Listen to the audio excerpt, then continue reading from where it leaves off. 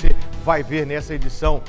Chuva forte atinge cidades de Virgolândia, do leste de Mineiro, caiu um temporal e as ruas foram alagadas. Carros foram tomados pelas águas e da chuva. O prejuízo para pelo menos oito famílias atingidas. A LMG 744 é paralisada na tarde de hoje. Uma cratera no asfalto impediu o trânsito entre as cidades de Marilac e Coroaci. Os detalhes você vai acompanhar nesse telejornal. Fique ligado, tá? O resultado do Lira. O governador Valadares mantém 4% de índice de infestação do Aedes aegypti e o trabalho para conscientizar os moradores a manter costumes de limpeza das calhas, de vasos de plantas, também ralos sempre limpos com água fervendo. Isso não pode parar, tá bom?